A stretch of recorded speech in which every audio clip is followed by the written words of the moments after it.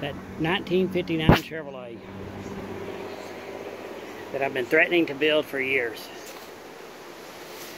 This car's been sitting since 1969. I bought it 20 something years ago for scrap iron basically. It's been sitting right here in this backyard ever since. As some of you know, I recently sold the 63 Chevy Impala that I started my video series off with to a very good friend who's wanted it badly and made me a good offer. He had a better place to keep it. And like I said, he redo it kind of the way I was wanting to. So I sold it. And I was looking forward to getting onto building this car.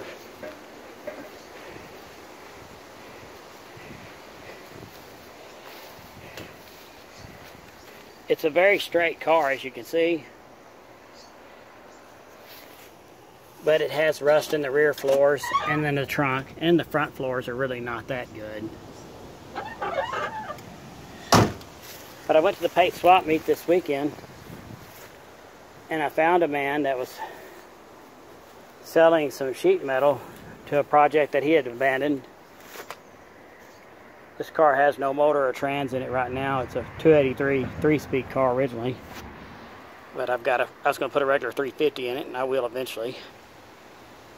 But I bought a good stash of sheet metal. The whole entire floorboard, the piece that goes under the back seat, trunk floor, new gas tank, new radiator, all kinds of stuff and I was looking forward to getting on that car. Now that car is factory black with a red interior. I was really wanting a wild color for a 59 Impala and black. They've always made black cars. So I was thinking about painting some kind of a turquoise color with the white 59 color.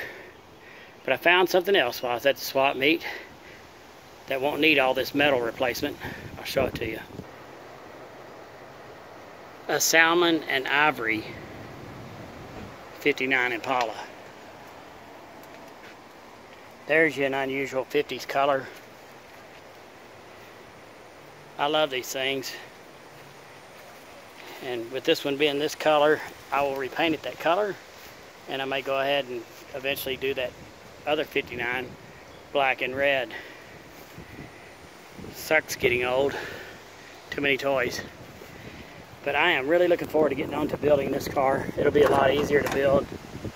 I mean, the floors and everything just real solid. It had a padded dash on it, so I'll have to repaint that dash.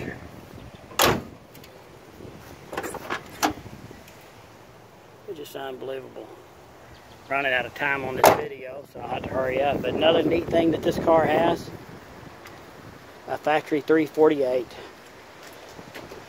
And I saw a video of it running recently. The people I bought it from made it start up. And it sounded pretty good and didn't seem to smoke. So I got my work cut out for me, but it's got a Powerglide behind it. We'll see if that'll live again.